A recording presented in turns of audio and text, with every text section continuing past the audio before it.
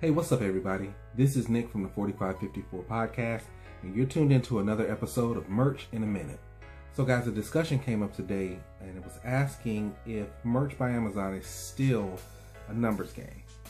If you guys have been around from the very beginning of merch, you probably know it was the Wild Wild West, and everybody was just kind of uploading any and everything. So, no matter how ugly your design might be, if there were enough people interested in it and there wasn't that much competition, you probably got a sale. That's changed as merch has evolved. More graphic designers have gotten involved. More marketers have gotten involved that are outsourcing graphic designers. And the general quality of merch by Amazon designs has gone up a bit. And I think that has something to do with them changing their application process. And so now what you have is you have a situation where it's still a numbers game, but it's more about quality shirts and more numbers of those. So my advice would be just work on the quality of your designs. All I've got for today. Take care, I'll talk to you guys next time.